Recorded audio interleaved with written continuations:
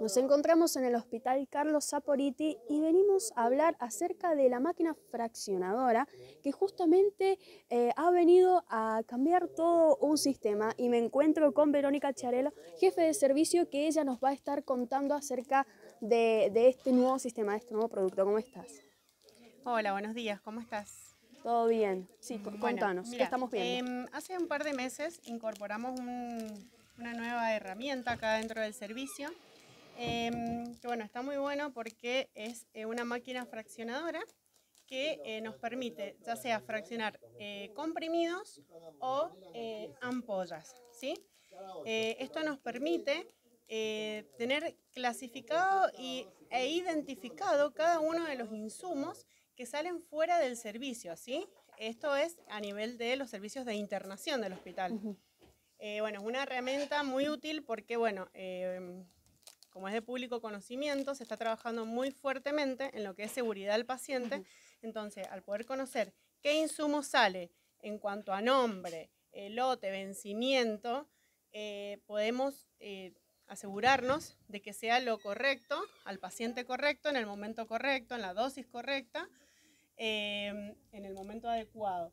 Entonces, bueno, nos permite justamente esto, esta herramienta saber exactamente lo que se le va a entregar al paciente, ¿sí? Sin cometer errores. Incluso... Dice fecha, eh, el nombre del medicamento, QR, ¿el QR para qué sería? El QR, bueno, esto es eh, un... Eh, vamos a hacerlo a largo plazo, digamos. hoy por hoy el beneficio es el que te comentaba anteriormente, ¿sí? Asegurarnos de qué insumo recibe el paciente, en qué dosis. Pero a largo plazo, bueno, nos permite la trazabilidad del insumo, que vamos a poder hacer clic en farmacia cuando sale de farmacia, cuando llega al servicio y cuando se le administra al paciente. Entonces asegurándonos que toda esa cadena de personas que intervienen eh, no estén cometiendo errores, ¿sí? Y el paciente se le resuelva su problema de salud.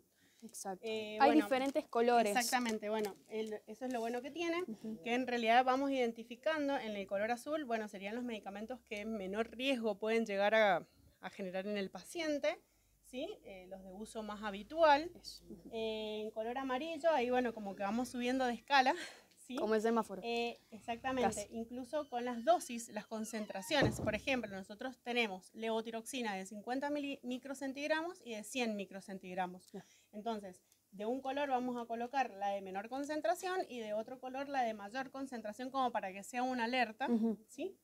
Y los de color rojo ya serían los medicamentos de alto riesgo, que son los que mayor eh, riesgo puedan generar en el paciente, ¿sí? Como bien lo dice la palabra.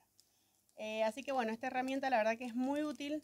Eh, fuimos el primer hospital de Mendoza en hacer fraccionamiento en dosis unitaria para los pacientes internados, ¿sí? Que tenemos pacientes adultos y pediátricos. Así que bueno, eh, ya bueno, eh, a, lo largo de este tiempo, de este año, eh, otros hospitales han incorporado la herramienta. Así que bueno, es la verdad que muy valioso para el hospital poder contar con esto. Ser los primeros es todo un, orgullo.